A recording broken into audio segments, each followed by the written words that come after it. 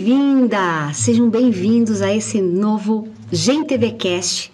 Hoje tão especial porque eu estou com uma pessoa encantadora, uma pessoa que eu admiro muito. A gente se conectou pela internet, né? Já fizemos um evento online em pró, é, no momento tão de desafios que a gente vivenciou. E hoje para mim é uma honra estar conhecendo pessoalmente Lucelena Galvão, né? essa professora incrível, educadora, apaixonada pela, pela filosofia. E é uma honra estar aqui, de verdade, desde o meu coração, por tudo que você significa, não só é, para o nosso país, mas para o mundo, porque são líderes aonde se posicionam em pró do bem maior que faz a diferença no mundo. Então, minha grata honra de estar aqui nesse momento e eu vim um pouquinho, né, trazer esse olhar. É um bate-papo descontraído, onde a gente vai estar tá conversando aqui, trazendo essa conexão do bem, trazendo possibilidades de quem está em casa poder se inspirar com novas possibilidades de se comunicar. Seja bem-vinda. Muito obrigada, Tati. É uma honra para mim estar aqui também. Eu espero somar para o seu trabalho tão bonito. Gratidão. Então, o que eu gostaria, primeiramente, Luciana Galvão, de trazer um pouquinho dessa do contexto da tua história. Eu sei que é né, sintetizado no tipo o que, que, levou essa paixão, né? Como que começou esse desejo de fazer essa diferença, de criar uma nova comunicação? Porque a gente vive num mundo onde a comunicação ela é muitas vezes factual, é, violenta. E eu sei que a tua toda a tua trajetória sempre por trazer uma comunicação assertiva, uma comunicação que gere clareza, né? Então trazendo um pouquinho desse teu essa tua conexão, né, com a comunicação, com através da filosofia e da tua história. É, na verdade, isso não é uma opção apenas pessoal, isso é uma opção da organização a que eu pertenço. Eu era jovem, tinha acabado de me formar, mas tinha essa atração pela filosofia. Comecei a fazer filosofia acadêmica, nada contra, mas não era o que eu esperava. Filosofia para mim tinha que ser alguma coisa mais prática, mais conectada à vida. Então, num determinado momento, conheci Nova Acrópole, que é uma instituição internacional em 60 países no mundo, mais de 100 sedes no Brasil, e ela tem um trabalho que é da filosofia aplicada à vida no sentido de trazer esse ponto de vista mais profundo, essa orientação para que a vida possa seguir uma trajetória mais humanista, para que possa ser um fator de realização, a maneira como a gente trilha a nossa vida, a maneira como faz as nossas opções, a maneira como se posiciona diante da, da vida. Filosofia como arte de viver melhor como ser humano.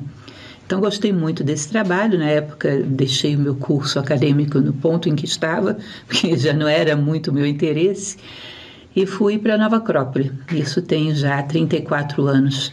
É um trabalho que eu tenho feito junto com eles constantemente. Primeiro, bem dentro da organização, fazia aulas quase todos os dias, tinha um trabalho intenso. E depois, quando foi necessário que alguém desse um passo além para ir para a internet, que era um desafio para a gente, ninguém conhecia nada daquilo, isso há 17 anos atrás, eu tomei a frente disso, tive coragem de fazer, enfrentei os desafios e ainda hoje eu estou nessa frente de levar adiante, levar para o público o pensamento de Nova Acrópole, que é uma filosofia vivencial, aplicada a construir um ser humano melhor, mais humano propriamente dito. Que lindo. E, esse, esse, e um pouquinho desse desafio acho que é importante a gente conhecer, porque uh, eu gosto de dizer assim, às vezes as pessoas veem lá na internet né, aquilo que já está bem posicionado, mas com certeza foi muitas barreiras, os desafios que passaram para ter esse, esse movimento, né? Porque hoje é uma força tremenda. Hoje Nova Acrópole se tornou conhecida e com certeza tem é, todo um time que está que tá por trás, mas a tua é, postura, teu posicionamento com certeza inspirou né? E, e, faz com que o movimento cresça. Então, se puder trazer um pouquinho desse olhar e também aprofundar um pouquinho sobre Nova Acrópole, qual que é o trabalho, né, de prática, para que as pessoas possam entender um pouquinho o que, que essa filosofia na prática pode fazer na nossa vida. Sim, Nova Acrópole nasceu em 1957 na Argentina com o professor Jorge Ângelo Livraga, que ele teve uma experiência que guarda alguma semelhança com essa experiência minha de querer fazer uma filosofia da maneira como ela era nas origens. Eu não queria criar, mas queria encontrar um movimento assim. E ele o criou. Ele queria uma filosofia que fosse como aquela que era praticada por Platão, por Sócrates, por Aristóteles, ou seja, uma filosofia totalmente voltada para a arte de viver, uma filosofia prática, voltada a ser uma orientadora do ser humano na sua arte de viver melhor. E ele começa esse trabalho, então, em 1957, começa a desenvolver primeiro uma escolinha na Argentina, hoje a sede é na Espanha, em Madrid, na Europa, e vai se estendendo escola por escola à medida que os discípulos vão entendendo a ideia, vão levando adiante. Pouco tempo depois que Nova Acrópolis chega ao Brasil, eu entrei na escola, eu sou de uma das turmas mais antigas, lá em Brasília. Quando a escola chega em Brasília, eu entrei no movimento. E aí a gente começou a fazer um trabalho bem pioneiro. No início, ninguém nos conhecia, não tínhamos nada. Começamos a desenvolver uma atividade de propaganda, de difusão de qual era o nosso conteúdo, várias atividades para público externo, né? palestras, conferências em geral. E com o passar dos anos, a internet veio com toda a força. A internet para a gente foi um grande desafio, porque o que nos diziam é que internet dá resultado quando são conteúdos curtos e as nossas palestras têm uma hora ou mais. Mas eu entrei dessa maneira mesmo, colocando as minhas palestras com uma hora ou mais e disse: em algum momento as pessoas vão experimentar e vão gostar. Levou anos até que isso desse certo. No início éramos pouquíssimos na internet. E a gente foi desafiando fronteiras. Hoje as pessoas vão lá atrás e procuram as nossas palestras antigas, porque na época mesmo não tinha praticamente público. Sim. Ah, então fomos desafiando, colocando a nossa maneira de fazer as coisas, uma linguagem muito positiva, uma linguagem de apoio mesmo ao desenvolvimento humano, e com o tempo as pessoas foram vindo.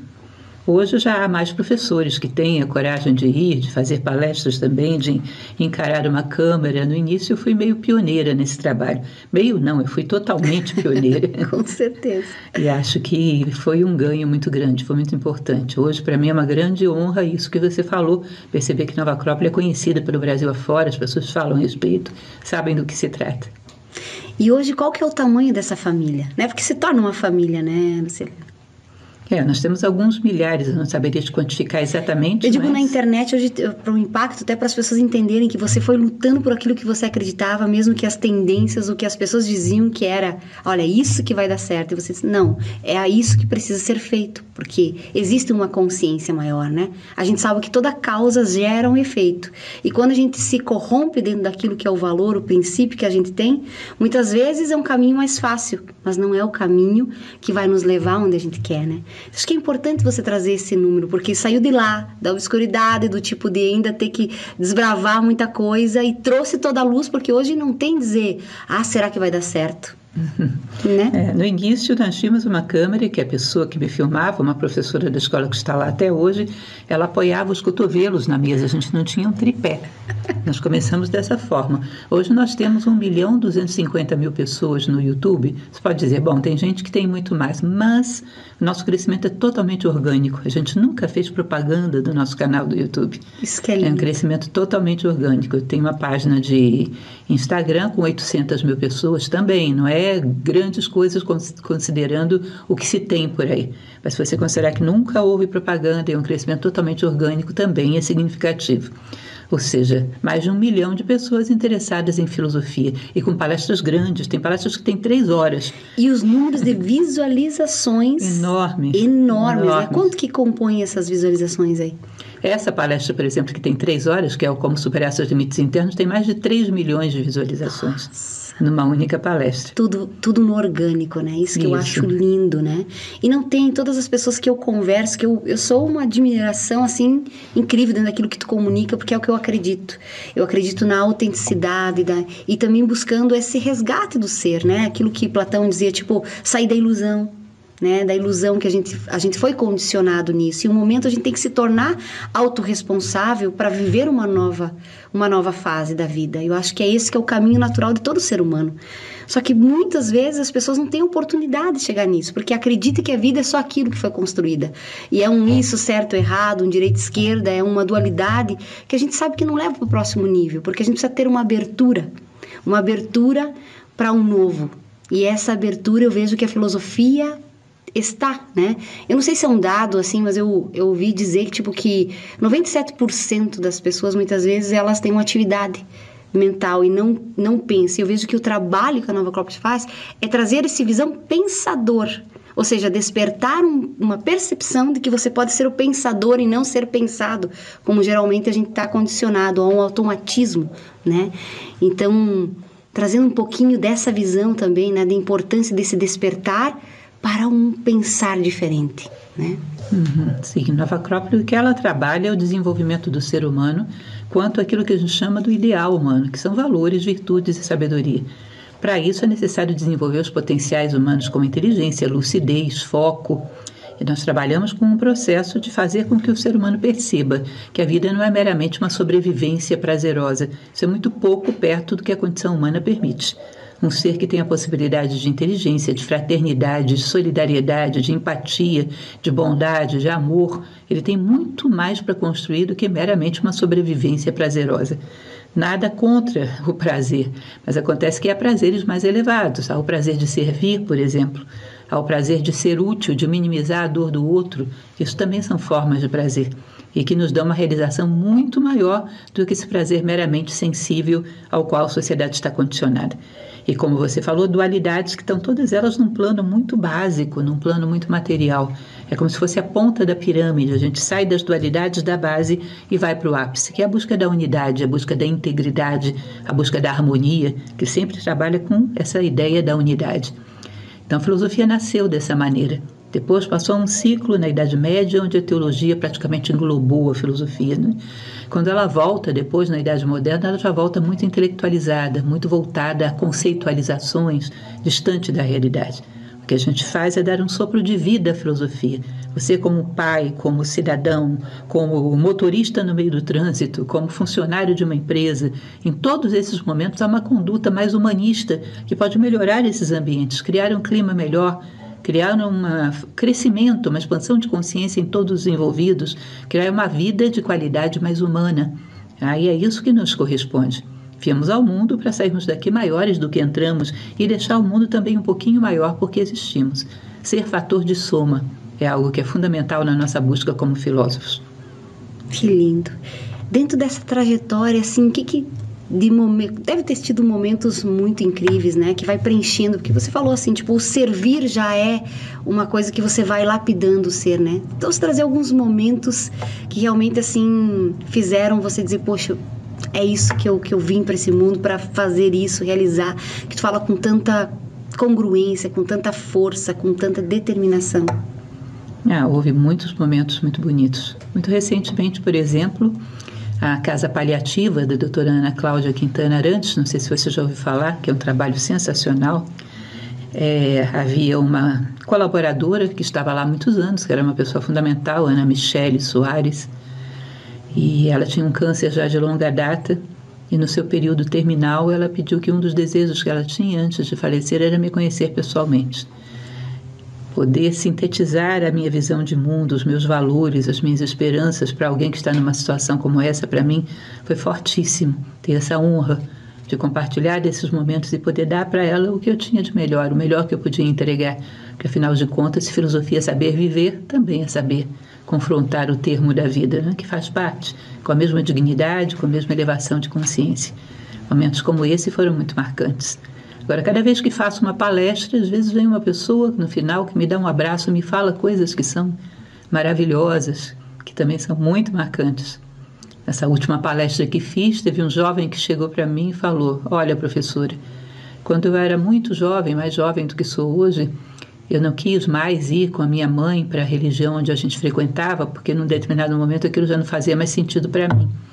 E aí ela me disse: Meu filho, um dia a palavra de Deus vai encontrar você novamente. Você não pode viver sem ela. E ele, muitos anos depois, disse que ouvindo o nosso trabalho, conhecendo as nossas palestras, ele começou a chorar porque ele teve a sensação de que a palavra de Deus o tinha encontrado de novo. E aquilo para mim foi muito forte, muito bonito, um grande presente ouvir isso. Sabe que isso é uma coisa que eu vejo muito nesse trabalho da Nova Club, é trazer os jovens que eles eles têm uma percepção mais aberta, né? Eles estão num processo que eles precisam se reencontrar.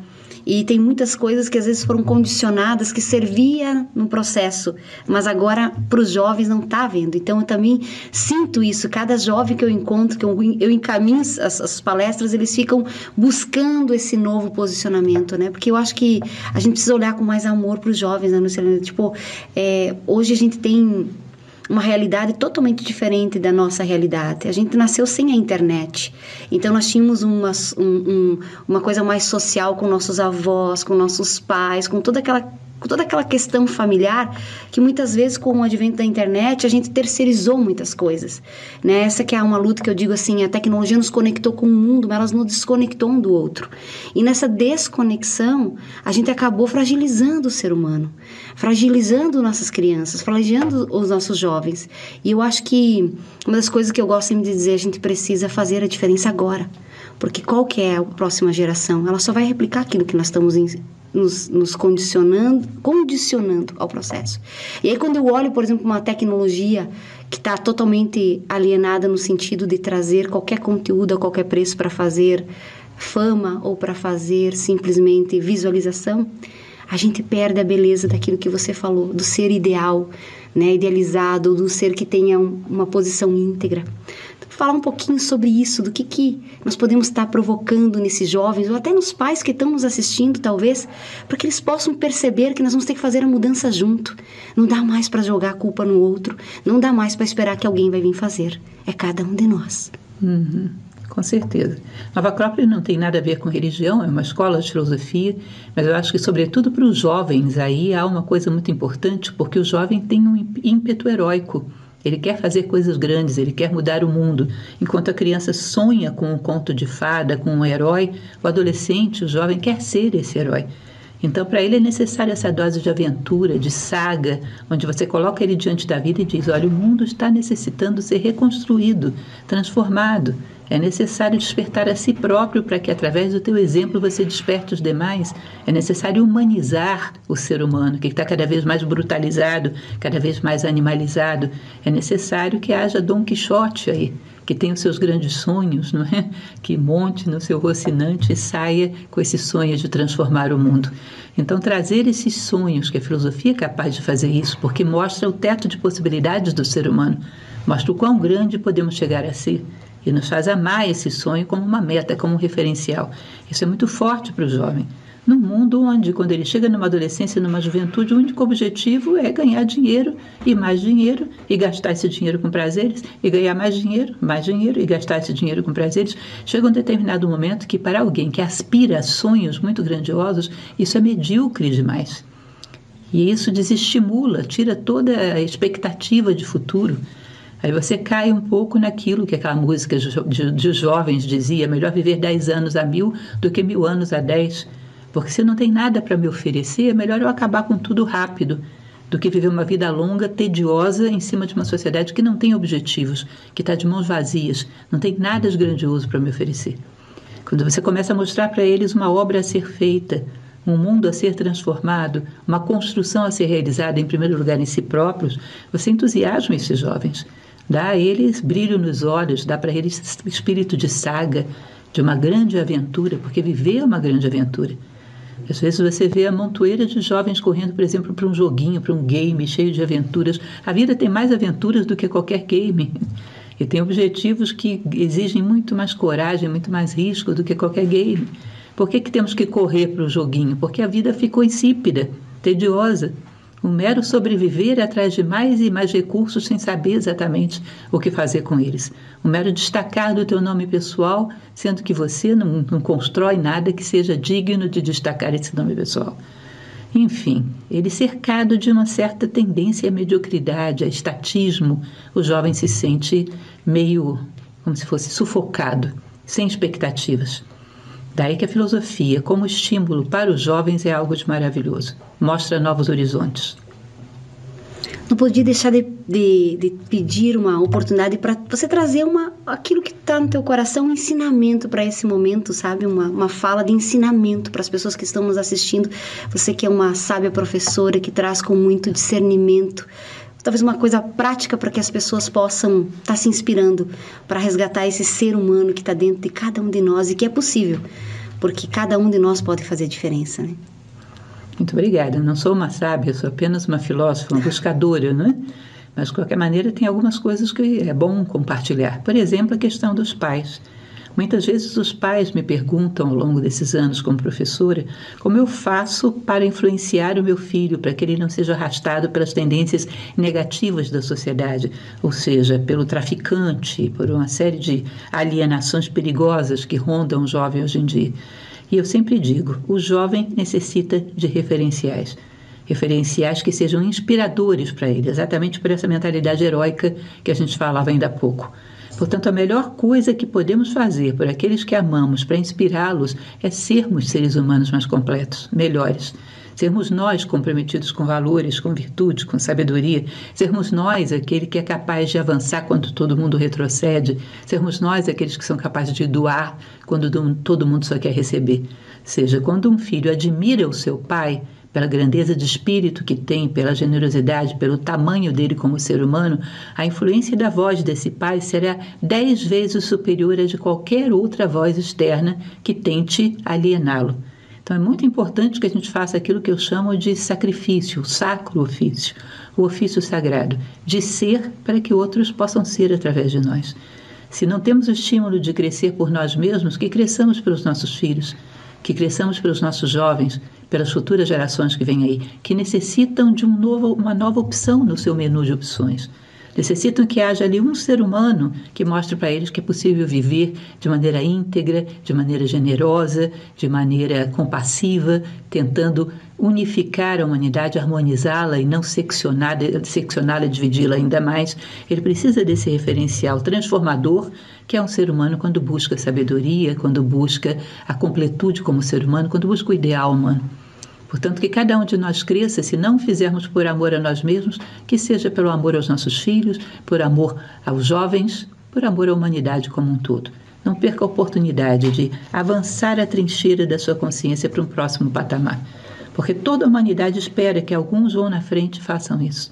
E deem exemplo de que essa é a verdadeira forma de viver humanamente bem. Os nossos jovens precisam muito de referenciais. Se nós, porque os amamos, nos tornamos referenciais, nós conseguimos tirá-los dessa perpetuação de vícios que a sociedade propõe para eles. Que lindo. Eu acredito que essa reflexão, né, é, traz uma simplicidade, porque a gente não precisa buscar mudar o mundo, né? Às vezes a ilusão é que as pessoas querem mudar o mundo, querem mudar o outro, mudar o pensamento. Mas quando a gente resgata e busca pegar nas pequenas ações, é quando chegar nos ambientes, dizer um bom dia com alegria, é poder olhar no olhar das pessoas, no olho das pessoas, resgatar atos simples que nos reconectam né, no sereno, com, com verdadeiros é, ato de nós estarmos aqui, que é sermos humano. Tem uma fala tua que eu acho muito linda, que é tipo, se nós olharmos é, todas as estruturas do vegetal, é, o, a, o, mineral não vai se mexer. Você fala até a pedra, né? Acho muito lindo esse ensinamento. Tipo, a pedra ela tem o seu, seu jeito formal, é aquilo ali. Então, todos os reinos têm suas possibilidades. O único que realmente pode ser o protagonista para causar, para trazer a transformação e viver harmonicamente, porque, no fundo, o ser humano é o que atrapalha a humanidade dentro do ecossistema que se vive, que é colaborativo, que é integrativo.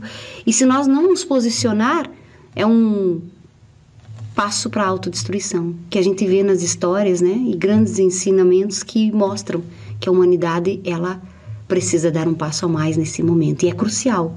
Então acho que essa tua fala e esse o, esse podcast, o GNTVcast, ele quer trazer muito isso, esse novo olhar de que é possível pensar diferente, mas mais do que pensar é colocar nas práticas do dia a dia. Porque se nós não praticar nas pequenas coisas, essa é a grande ilusão da humanidade. Acho que vai vir alguém de fora que vai resolver, o que o outro tem que resolver, ou eu tenho que mudar o outro para pensar igual a mim. Eu gosto de dizer no livre, na liberdade, de você entender que o outro é o outro, eu sou eu, e que cada uma pode ser uma gota no oceano. Nem uma gotinha, nem uma gotona. É uma gota no oceano. Né, que Madre Teresa de Calcutá fala sempre e eu acho que é uma inspiração. E eu vejo você praticando muito isso. Então, agradecer por você estar aqui nesse espaço. É, a gente tem um, um tempo é, curto hoje, né? Mas foi um momento de, como eu falei, é, muito maior do que simplesmente essa troca. Era uma conexão de alma. Eu acredito muito no seu trabalho, no trabalho que vocês vêm fazendo como Nova Clop, com toda essa essa busca de inspirar pessoas. E o nosso propósito é isso, é somar com pessoas com propósitos que fazem a diferença.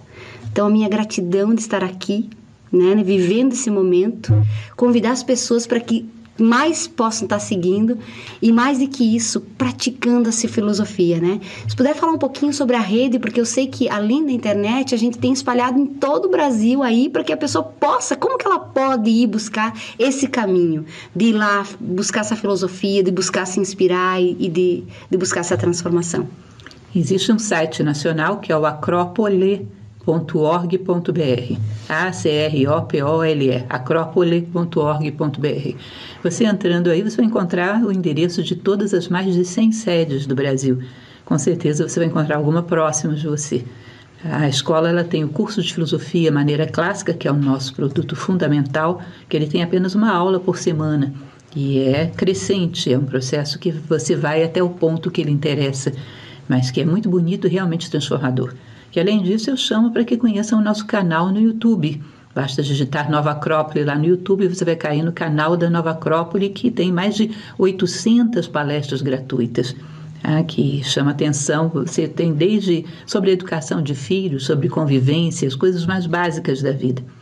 E também o nosso canal de streaming, que nós temos o Acrópole, Acrópole Play, tudo junto, acrópoleplay.com.br que é um canal de streaming que a gente utiliza para sustentar os nossos trabalhos sociais com crianças e que tem uma programação também exclusiva muito interessante. Então, são os três elementos para acessarem o nosso trabalho e com certeza vão gostar muito. Também tem nas redes sociais para seguir, né? Tem conteúdo, vejo que você também está sempre postando ali toda, né? Tem um ritmo muito de contribuição, de trazer conteúdos também. Uhum. É, o meu Instagram, prof. Lucielena Galval, né? Uhum. Galvão Sentiu. Prof. Lucielena Galval. Você vai me encontrar lá no Instagram e também estamos lá transmitindo conhecimentos, transmitindo boas mensagens sempre. Mensagens do bem, né? Então, agradecer e se quiser deixar últimas palavras aí, fica à vontade para o nosso público é, da GenTV, que tem um propósito, assim como vocês, de ser a mudança que nós queremos ver no mundo. Com certeza. Eu diria que existe uma frase que fala que só é útil o conhecimento que nos torna melhores. A gente tem recebido muito conhecimento que apenas nos intelectualiza, não nos aperfeiçoa como seres humanos, e isso é fundamental que a gente tenha um conhecimento que trazido para dentro da nossa vida nos torne seres humanos que dão melhores respostas às adversidades, às circunstâncias da vida. É muito importante que a gente receba esse conhecimento e assimile para nos transformarmos cada vez em seres mais plenamente humanos, que é do que o mundo necessita. Gratidão, gratidão a vocês que estão nos assistindo. A Gen TV Cast é isso, é trazer um novo olhar novas perspectivas, mais do que palavras, congruência, porque o, os convidados que estão aqui, eles vivem na prática aquilo que, ele, que acreditam. E essa é a nossa busca, inspirar você de que é possível. Intenção correta, pensar, sentir, falar e agir. Vamos juntos fazer a diferença no mundo.